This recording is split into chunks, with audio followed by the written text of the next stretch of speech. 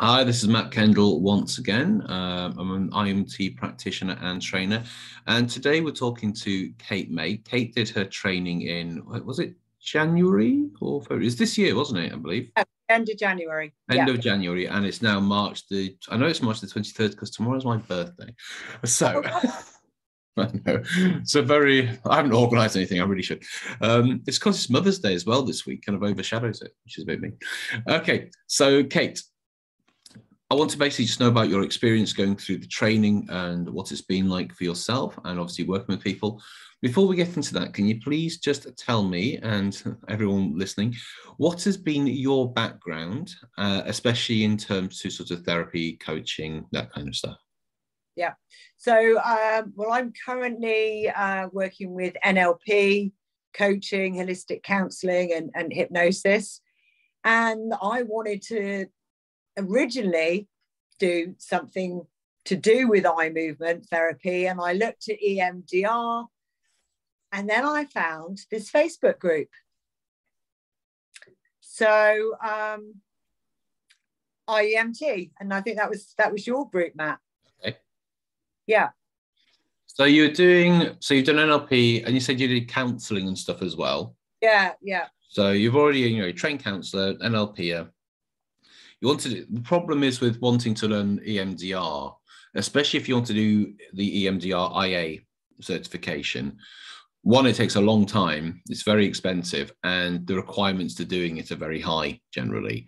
So yeah. the barrier to entry is with with IEMT, it's like you can you don't need to have any experience and to come and learn it. You know, it's just a weekend course as opposed to a. I think EMDR I think is about one or two years. I think it can sort of go on for. Yeah, um, I have so many qualifications. Mm. I was looking at that and thinking, well, that's ridiculous. So I, I don't, you know, I'm not a psychologist or, yeah. whatever. So, um, so yes, uh, it's just by chance I came across your mm. website. But what is this? Excellent. So, so you found out you came into the group, and then did you come on any of the webinars that I do, or the talks, or just interact? Yeah, no, I I came on a webinar and I went through the videos that you had on there, looked on mm-hmm. YouTube as well, because there's a hell of a lot of information on there, which is really good actually. Yeah. Which sort of made my mind up that that was something that I wanted to do. Banging. So you decided you did some research, which I always say to people, do your research. Because you know, it is a weekend of your time and it's like it's not loads of money, but it's still a good chunk of money to do the weekend training. You'll have to be sort of focused and everything. Mm. So what did you think about the training itself? Uh, basically, in terms of I'll throw a lot of questions at you. The stuff that you got beforehand, the actual training structure, yeah. doing the activities, doing the exercises um, and then basically the aftercare support as well. So basically, let's go through it from the beginning. So, what did you think about going through it? Yeah, from the start, um, I love the way I contacted you on Messenger. You got straight back to me. Um, I had an option to pay in installments or pay up front. So that was a great thing as well, you know, especially if, if um, you don't have a lot of money to start off with. Yeah. Uh, and then there was um, the email information that you sent through, and before the course, which I, I like found out all that information. You know, the the um, oh, I can't get the word out Yeah, you didn't send the manual out weeks before. We got it, you know, sort of quite close to the weekend that we were mm. doing the training, which was great because it, it gave me that. Right now, I'm focusing solely on this course now. Um, the great thing about the course was that it is two days over a weekend. Um, and it's, you know, then once you've done your case studies and everything, it's done. It's done. And then you have supervision afterwards. You can carry on getting support from you um, in the group that you, you do lots of other webinars as well. Um, there's so much information there. So you're not sort of left on your own once it's all done and dusted. Yeah. And the yeah, that's that- one thing. Oh, I got a bit blocky. Yeah, that's one thing that I was really sort of sort of careful with and sort of focus on is that because I've done courses, and once you've done the course, it's actually like well, it feels like I'm just on my own again now. And so with uh, with this, I try, you know, obviously I'm I'm blocked on Facebook at the moment, but there is obviously a community on there. I now do a monthly supervision session and practice session. You also connect on a WhatsApp group with all the people you went through the course with to stay in contact with, and they're often quite lively. Um, and yeah, I, I do, and I also I offer if people want to do the course again to let them do it for half price as well, should they want to do, you know, for the extra practice and stuff. So, so with the course itself, I try to break it down and make it as modular and as easy to digest as possible. Uh, I know you've been on lots of other trainings and stuff as well. So, how did you think the actual course was set out and taught, and the experience going through it? Uh, it was brilliant. Um, it, you got to know who you're on the course with mm-hmm. you know, had the breaks that we needed. So it wasn't information overload. Um, we got, uh, we were able to practice everything that you taught us.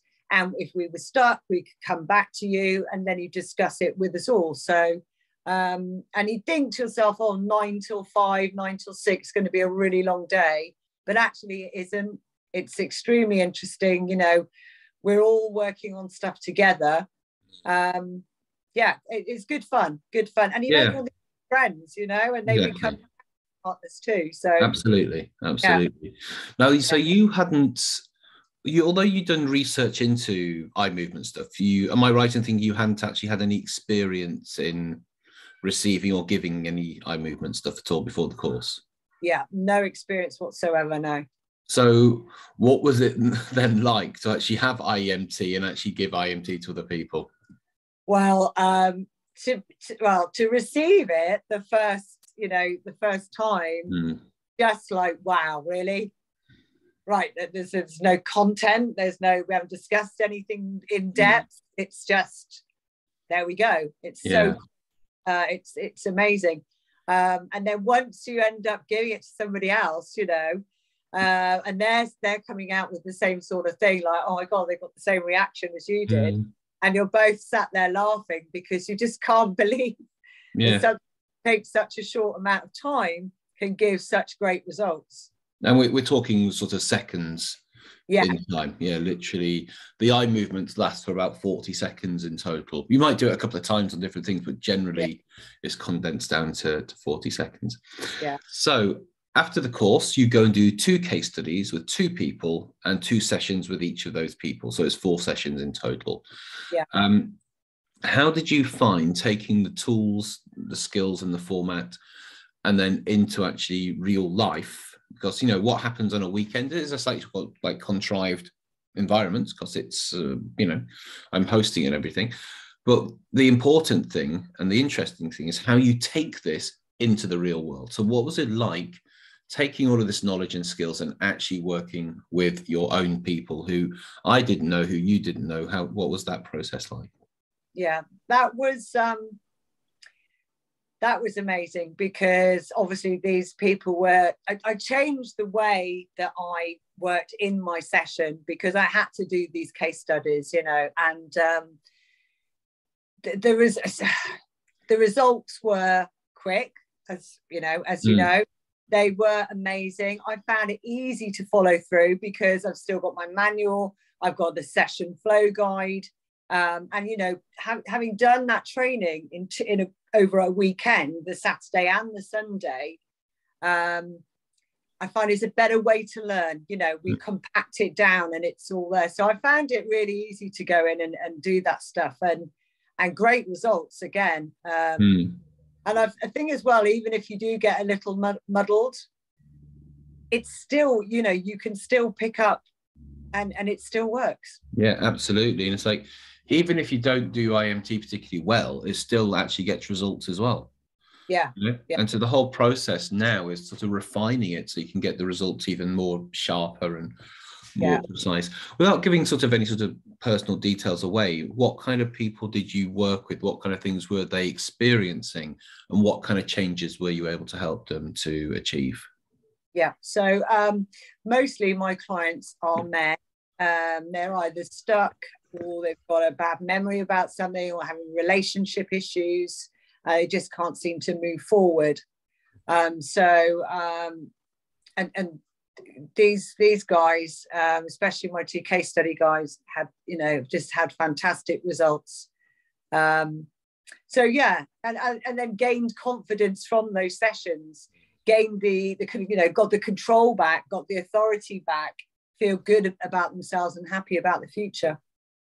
And we were just discussing before as well when you see people because you saw them in person. Do you see them both in person? Yeah, both yeah. of them. Yeah. So um, I suppose it's the same if you see them online, but the actual difference. What was it like seeing the two clients? Now, I just want people to understand that at the end of the session, we do not tell people to feel good. A lot of hypnosis and NLP sessions will finish on like take your feeling, make it feel good, put out, be positive, which you know you will feel good for a day or so. But in IEMT, we're only working on negative stuff and releasing ne- negative. What was the difference between the first session and the second session, the people's body language and how they looked? So the first session, obviously, you'll get the client coming in, looking a bit, you know, mm. it's not known, you know, it's all unhappy and stuff. Um, by the time they come back on the second session, they're standing tall. They're looking confident. They're smiling. They're happy to be there. They're like you know mm. the weight gone from their shoulders and that's that's brilliant. Um I, I, I don't always have that you know from my normal sessions mm. um with that I don't use IEMT so uh, IEMT is now part of every single session that I work with. Yeah yeah. So how's it been integrated? Because you do counselling and NLP. Uh, uh, before you did IEMT, would you say that you did mainly sort of counselling, speaking therapy, or was it mainly NLP? What was it that you usually uh, did? a lot of oh, holistic counselling mainly. You know, a bit okay. more um, and then coaching um, with with NLP. Um, the odd bit of hypnosis. Okay. Um, but it was i find that i mean those sessions are great mm. but i'm having to listen to a lot of content. Um, and with IEMT there's something you don't have to put your client through or, or you know go through yourself. So um, it makes such a difference. Yeah. Now let me ask you then how do you think that IEMT is going to impact your business going forward in terms of the way you work with people and the amount of people you work with? Um, I think it's just going to continue to get me uh, great res- results for my clients. Mm. And you know, even though you sort of think, right, if they're getting such great results so quickly, are they going to come back? Well, yeah, they. Oh, you've gone mute. Um,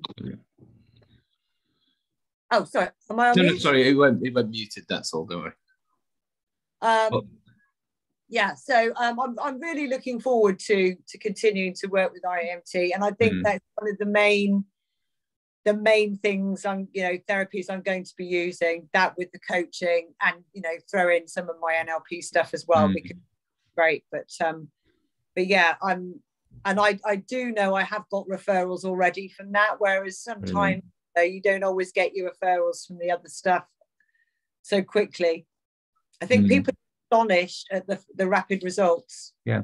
And uh, people often who they know are quite astonished um, at how quickly they've changed and not in a false way, just in just in a better way in the way they then communicate with other people and yeah and that's why IEMT does tend to get quite a lot of referrals because as you said, you know, when, when you're doing, let's say, just standard counseling sessions, that might be like three months of sessions with people. Okay. Yeah. I could have a friend who I see quite regularly. They could be in counseling. I might see them a few times. I might not know they're in counseling. There's no, there's nothing to, you know, there's no outward explicit changes. When you have a single session of IEMT, it's very likely there's going to be some very noticeable changes in people. Yeah. And also because people are quite excited by this, I find, did you find that when people came back to the second session, they were like really eager and wanted to be there?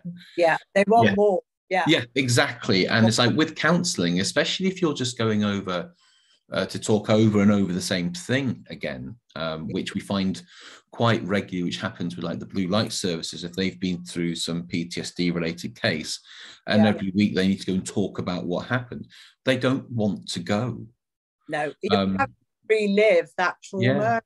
I mean, I I went through um, addiction many many years ago. Right been in recovery 10 years now and um, i had to have counseling sessions and i got sick to damn death with going over the same thing over and over again and being asked the same questions. Yeah. Uh, not no offense to any counselors out no there, no no not at all. But yeah but um, I, I i get that yeah. And a lot do you know what a lot of counselors and therapists who learn IEMT they become excited about working with clients again um, They get excited because they've seen the results they can get people. And also, it's something new for them to do as well. But also, it means that they don't have to listen to as much of the negative experiences people have been through and still get them results. Because as a you know, as a counselor or therapist, you've got to protect your own psyche. And yeah. if every day, if you're listening to really horrible stuff, it's going to impact you. Um, with IEMT, there's very little content that you need in order to actually still get amazing results and in a much shorter time than traditional therapy as well. Yeah, yeah, it's great. Uh, you know, it's, it's one of the best courses I've done actually, Matt, in a weekend. Yeah. You know, price. so there's going to be some people who are like watching this on YouTube, kind of sat on the fence thinking, also because some people who have no experience in learning therapy and i, I try to aim this at uh, anyone who can want to come and learn it. Basically you can learn this to use it as its thing as its own thing. Or like yourself already you know uh, a qualified counselor you can integrate it with what you're with what you're doing. So if yeah. somebody sat there on the fence thinking do i really want to spend a weekend on zoom with this crazy bald fella trying to get me to move my eyes. What do you have to say to those people who are watching this who are sort of just on the fence? Absolutely go for it. Go for it. Even if it's something you just want to, you know, even if you're working in a supermarket, you know, come and do something like this because it really will change your life, give you a different outlook. Um, and if you're a therapist, a counselor, hypnotherapist, coach, whatever, this is gold dust absolute gold dust. Yeah. One last thing, actually, is something you just mentioned. Then, obviously, because when you do uh, the, the, the weekend training, I, I get you to prepare by bringing lots of things you want to work on yourself, memories, emotions, identities, that kind of stuff. Yeah. What was it like, and how's it been since working on your own issues, and what are the changes been like for yourself personally? Yeah. Um, actually, I was thinking about this the other day uh, because I found the the questions and what I'd written down and what I, you know, what I brought to the session and what mm. was hmm. working on. And um, I was, I just like questioning them. I don't feel any of those issues at all anymore. Mm. Um, I really don't. So um, that just proves it, you know. And none of those issues have returned. So mm. they, they weren't, you know, major issues, but yeah. they, they were holding me back, keeping me stuck confidence wasn't good enough. And now, ta-da! so, yeah. Thank you so much for your time today, Kate. If people want to find you, want to work with you and stuff like that, do you have a website? Do you have social media? What's the best way for people to find you? Yeah, you can find me on Facebook and it's Kate May. Cool. Thank you very much for your time today and go and work with lots of people and change people's lives. I will. Thank you, Matt. Fantastic.